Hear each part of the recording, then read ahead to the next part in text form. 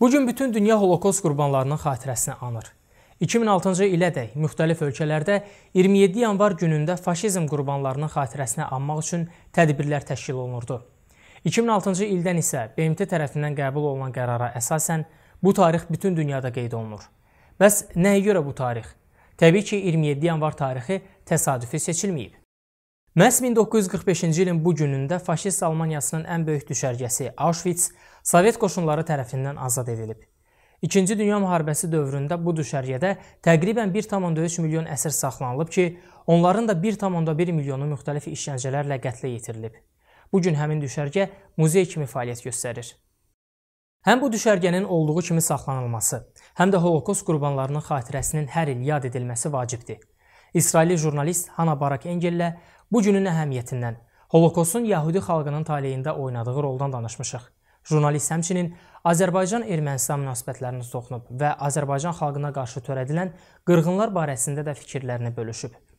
Jurnalistin bütün bu məsələlər haqqında çıxışı ilə birazdan tanış olacağıq. Əvvəlcə Hana Barak Engelin Holokostu anma gününün əhəmiyyəti ilə bağlı dediklərini dinləyək. Qeyd edim ki, bu videoya Azərbaycanca və ingiliscə subtitrlar əlavə olunub. YouTube pleyerinizdə subtitrları aktivləşdirməklə İsrailli jurnalistin dediklərini daha rahat anlaya bilərsiniz. We the people in Israel uh, mark the Remembrance Day of the Holocaust. Uh, and not only us, the Jewish people all over the world mark this date. It's very important date for us. This is the date the war was end. And we found out that there are six million Jewish people were murdered just because they were Jewish. And uh, about one million gypsy people were murdered just because they were gypsy. Unknown number of disabled people were murdered, all kind of nationality, because of the Nazi decided they are not worth living, they are wasting resource, so they murdered them. They got rid of them.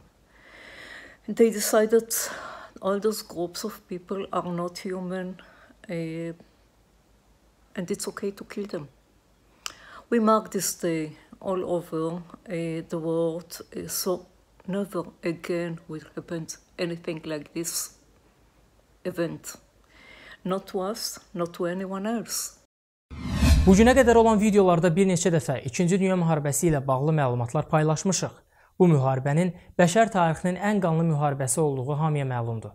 Milyonlarla günahsız insanın qətlə yetirildiyi, dünyanın siyasi xəritəsini dəyişən bu müharibə Yahudi xalqının həyatında nələri dəyişdi? Jewish people were living in Israel all the times, but not many of them. Uh, most of them lived in Europe and uh, north of Africa. Uh, things changed after the World War II, after the Holocaust. Before that, people just were longing very much to live in Israel. In the wedding ceremony, part of the ceremony is that a Jewish man says, If I forget you, Jerusalem, I will lose my right arm, which means Jerusalem is more important to me than my right arm.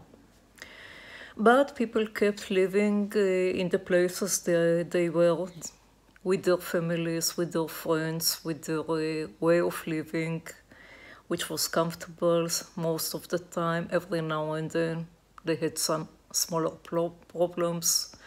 Uh, there were countries which were much more difficult.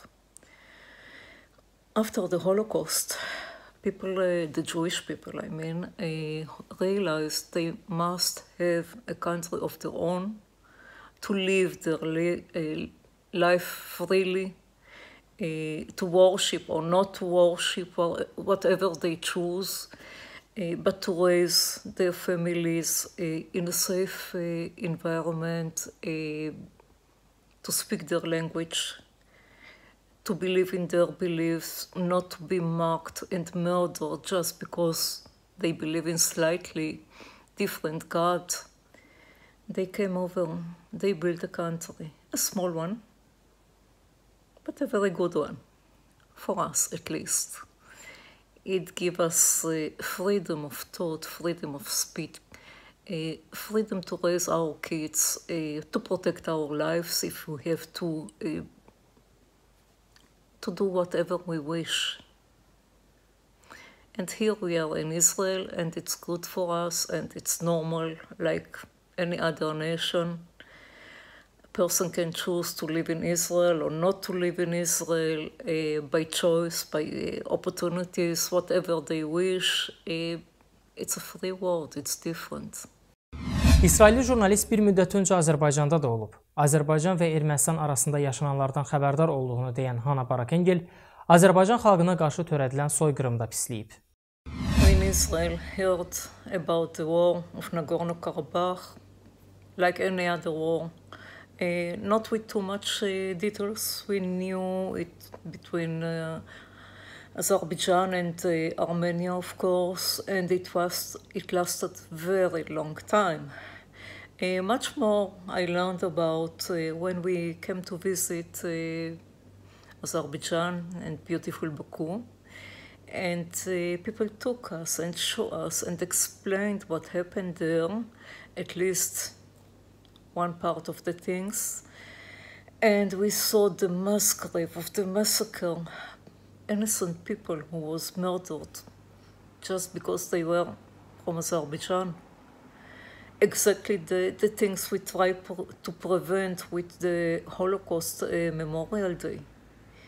Uh, it was horrible. It was heartbreaking to see those uh, white skeleton of people who once were living peaceful life and not anymore we try to prevent that kind of things all over the world. We try to, to tell people be careful with life, uh, take care of your own, uh, help each other instead of murdering, of, instead of killing. Killing doesn't help anything.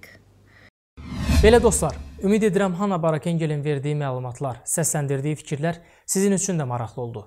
Biz də 2-ci Dünya müharibəsində həyatını itirən günahsız insanların ruhunu ehtiramla anırıq və inanırıq ki, bəşəriyyət bir də belə qanlı hadisələrə şahid olmayacaq.